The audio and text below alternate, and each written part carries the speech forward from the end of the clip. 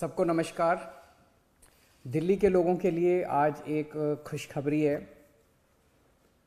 आपको याद है, मैं पिछले महीने अयोध्या जी गया था। वहाँ पे श्री रामचंद्र जी के रामलला जी के दर्शन हुए और बहुत अच्छा लगा।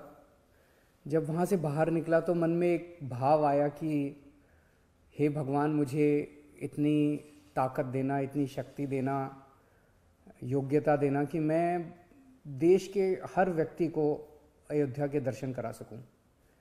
तो जब मैं दिल्ली लौटा तो हम लोगों ने, हमारी जो मुख्यमंत्री तीर्थ यात्रा योजना है, हमने आते ही उसमें अयोध्या, उसमें बारह जगह हैं जहाँ पे लोग तीर्थ यात्रा के लिए जा सकते हैं, अपने बुज़ुर्ग जो हैं तीर्थ यात्रा के लिए जा सकते हैं उस योजना में बारह स्थान हैं जिसमें से कोई भी व्यक्ति कोई भी एक स्थान चूज़ कर सकता है जो उसमें हम पूरी ले जाते हैं, उसमें हम द्वारका ले जाते हैं, ऋषिकेश, हरिद्वार रामेश्वरम, शिरडी अजमेर शरीफ सब जगह ले जाते हैं। तो उसमें हमने अयोध्या भी ऐड किया। तो इस तीर्थ यात्रा योजना में दिल्ली का रहने वाला कोई भी बुज़ुर्ग इसका लाभ उठा सकता है। वो अपने साथ एज एन अटेंडेंट अपने घर के किसी यंग आदमी को भी ले जा सकता है। एक बुज़ुर्ग के साथ एक यंग आदमी अलाउड है। तो उनके आने का, जाने का एसी ट्रेन से ले जाते हैं, एसी होटल में ठहराते हैं, अच्छे होटल में वहाँ पे सारा लोकल ट्रांसपोर्ट खाना पीना सब कुछ सरकार बेयर करती है। अभी तक छत्तीस हज़ार से ज़्यादा लोग इसका लाभ उठा चुके हैं। तो अब अयोध्या भी उसमें हमने ऐड किया था कि अयोध्या भी जा सकते हैं।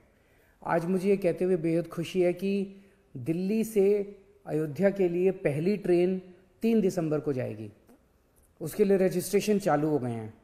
तो आप हमारी जो ई डिस्ट्रिक्ट का पोर्टल है दिल्ली सरकार का उसके ऊपर जाके आप रजिस्ट्रेशन करा सकते हैं और जो जो लोग जाना चाहते हैं। आ, इसकी चिंता मत करना कि ज़्यादा रजिस्ट्रेशन हो जाएँगे तो आप रह जाओगे। एक एक को हर एक को मैं आ, दर्शन करा के लाऊँगा। तो अगर ज़्यादा लोग हो गए तो दूसरी ट्रेन लगा देंगे। जो और ज़्यादा हो गए तो तीसरी ट्रेन लगा देंगे। हफ़्ते भर बाद चली जाएगी दूसरी ट्रेन। तो लेके सबको जाएँगे। आप बिल्कुल चिंता मत करना। तो सब लोग अप्लाई करें।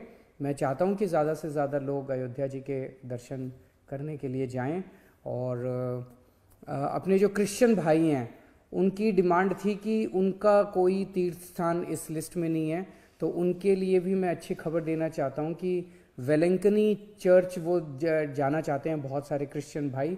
वेलेंकनी चर्च को भी हम इस लिस्ट के अंदर ऐड करने जा रहे हैं जल्दी, और वो भी अपने मर्ज़ी के मुताबिक तीर्थ यात्रा पे जा सकेंगे।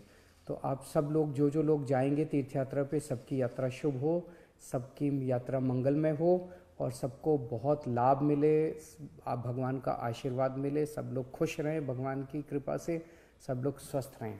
नमस्कार।